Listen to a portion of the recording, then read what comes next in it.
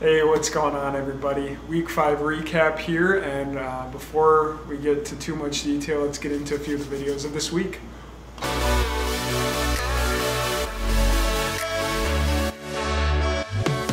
Hey, everybody. Happy Monday. Uh, about to do my cross training for the day. Gonna hit the bike a little bit. Uh, I'll show you what the setup I'm working with here. Here's the setup of what we got going. We got a road bike hooked up to a machine there and it lets me ride inside, so works pretty nice. Probably gonna ride for about 10 miles and call it good and then stretch and roll out. That's all we got for Monday.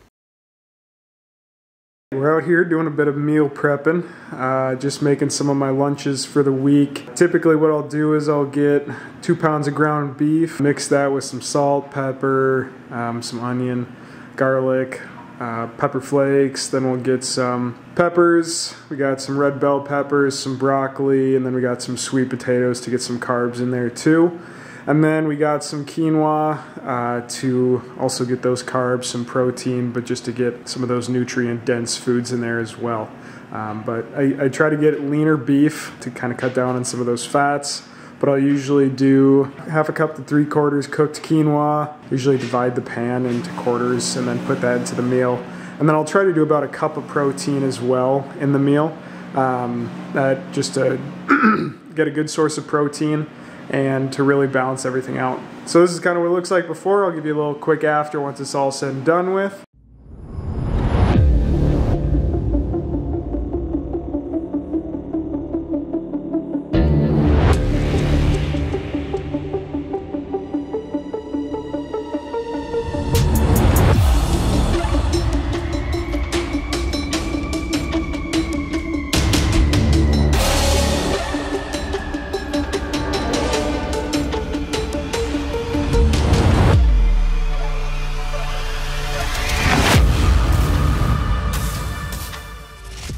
We got the finished product here. We got five days worth of meals. That'll all serve as lunch in, in my case, I suppose, but all ready to go. Just need to be warmed up, stirred together, and you have a pretty quick, easy lunch.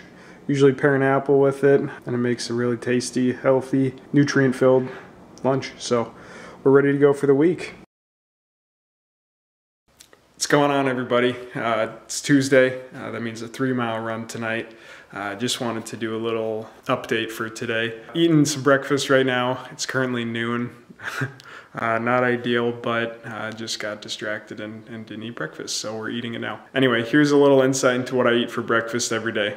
Usually for breakfast, I eat overnight oats, and that consists of a cup of oats, a cup of milk. Um, I put two tablespoons of strawberry jam in there for a little taste, and then some coconut flakes and um, some sliced almonds as well. It's nothing really all that complicated, just trying to work on getting some complex carbs, some quick sugars, some protein in there with the milk, uh, the oats, and the almonds. Um, and just give yourself a good base to start the day. So we're gonna eat that. Had some coffee this morning, had some water. Just trying to drink almost a gallon a day as well. Make sure I keep my body hydrated, keep my, my body working as it should so it can perform at its best. So that's about it. Got a three mile run tonight, gonna do some stretching, gonna do some uh, rolling out beforehand. Hopefully I'll be able to run outside today. Looks pretty nice. So we'll hit that pretty hard and we'll give you an update afterwards. What is going on everybody? Uh, happy Wednesday for me and the, the wifey. Um, just getting ready for my seven mile run this afternoon. I'm gonna run outside because it's warm. Not super sunny, but it's warm. Yeah, not too much else. Ice cream in the background. Aaron's eating ice cream. I'd rather be doing that TBH, but we're gonna go for a run anyways. So we're gonna get to it. Uh, we got little doggy over here who just had eye surgery and has to wear the little cone of shame. It's kind of sad, but anyway, seven mile run. Peace. What up, no? what? She's over there laughing at me. I'm doing my homework. uh, just capped off. Uh, uh, no, she's making fun of me. Just capped off a seven mile run. Uh, it's Wednesday, week five.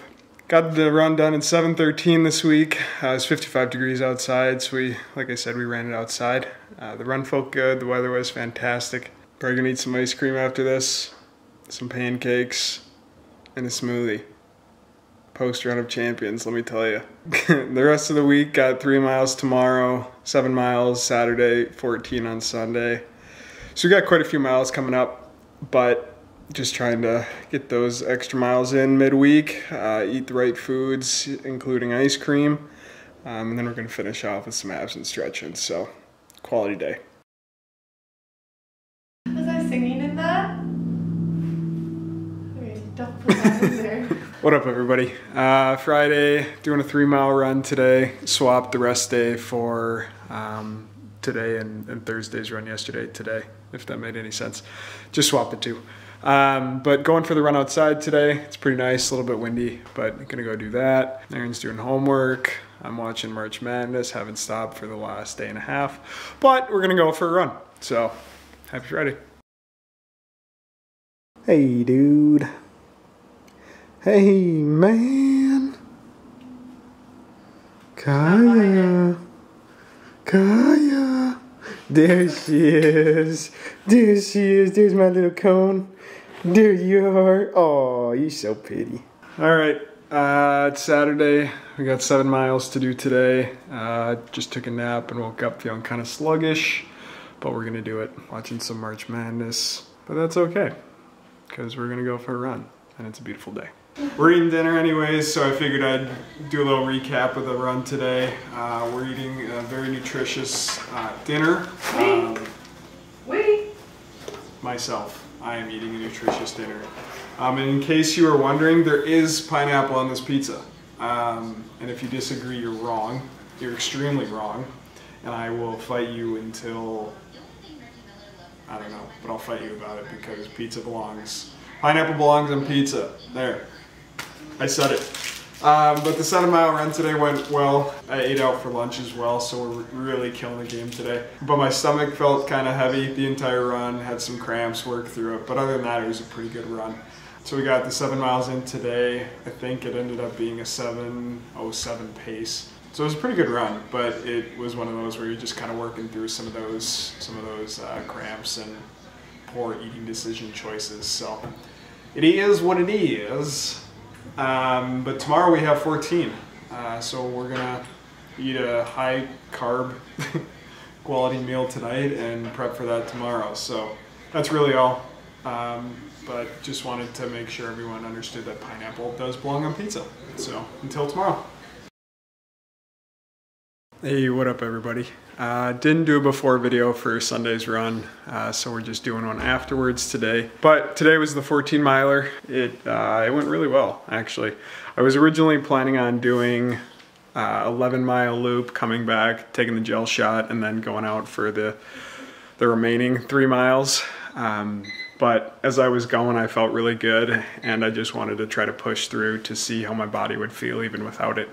Um, so I was able to do all 14 without the gel shot, which was nice and kind of a surprise. But so we did 14, um, did it in seven minutes and 14 second average. Uh, so that was pretty good. I was happy with that. My legs were definitely feeling it by the end of it.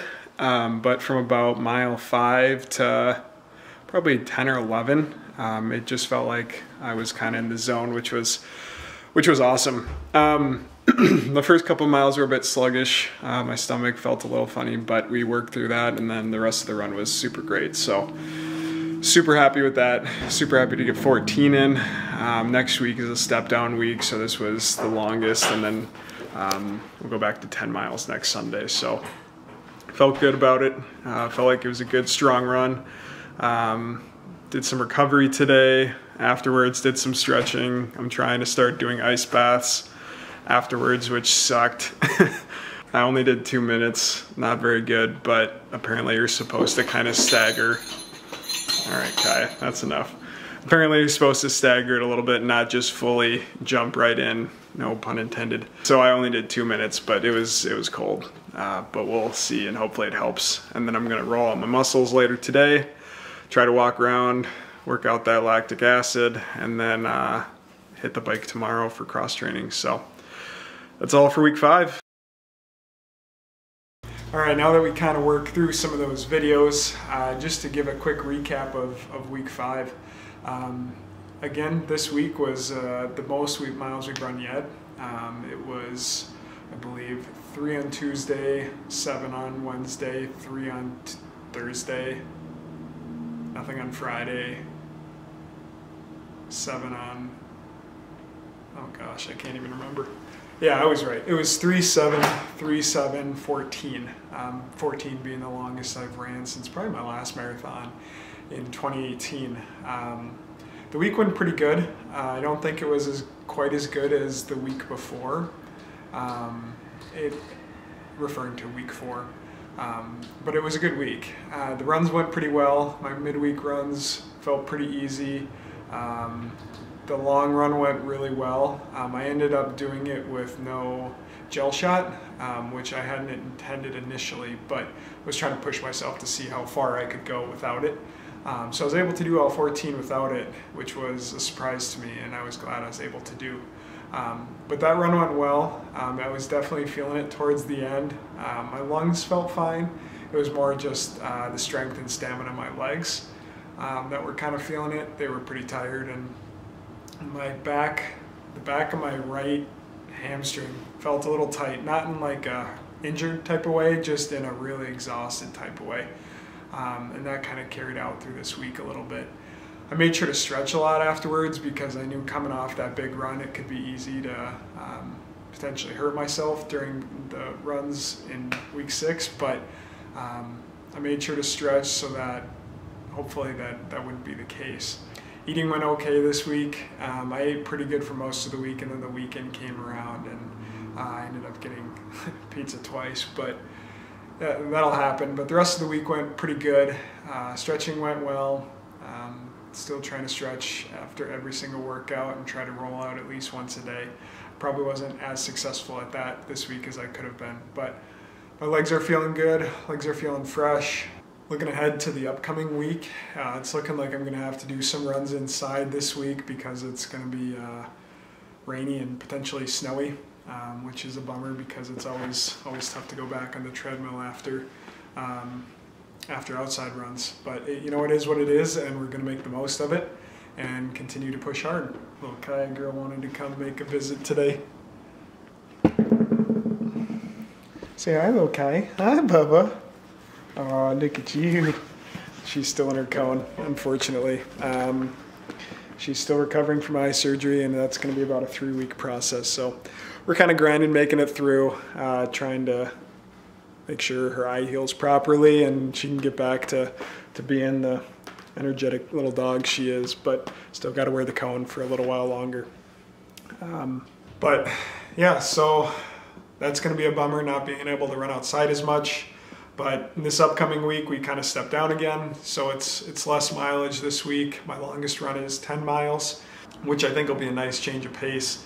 Just after week five, my legs feel a little bit sore, um, and just can tell that I've been running a lot on them. So it'll be a nice step back um, before we jump up in in week seven. So um, I'm ready for that. Hopefully, I can continue to stretch and keep my legs fresh.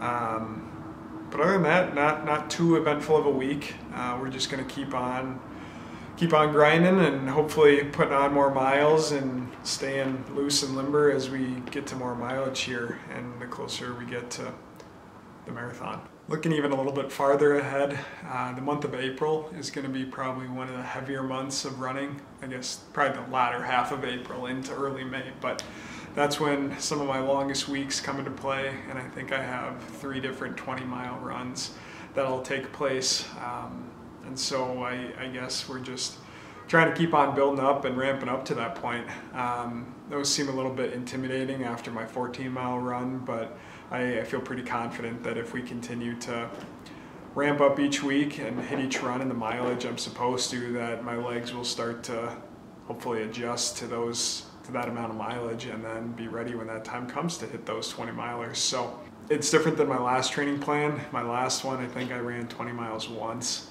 Um, but this one's a little bit more aggressive as far as the amount of mileage goes. So we'll do 20 miles three different times, and I'm gonna try to do 22 miles one of the times. And I, some people don't don't like to do that as much uh, because it can potentially risk injury before the race. Um, but I, I just know in my previous two marathons, I hit that like 20 mile 20 mark and mile, basically mile 20, 21, 22. I hit my wall, um, meaning that I hit that point in my body and mind and everything was just so mentally exhausted that I just was struggling to get through the last six miles. Um, so I'm hoping that pushing a little farther in the training, doing 22 miles, will kind of help me jump over that roadblock um, and that, that barrier that I was hitting in those runs. So I, I, don't know, it'll be my first time trying it. So I'm hoping that makes a difference um, in my overall performance in the race, but I guess only time will tell. Thank you all for tuning into the vlog. Um, I appreciate it. I know it's not the highest quality vlog, but I do appreciate you keeping up and, and supporting it. So Kaya says hello again.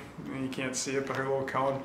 Uh, and then we'll keep on hitting the runs hard this week and exercises, and uh, we'll see you all again next week. Peace.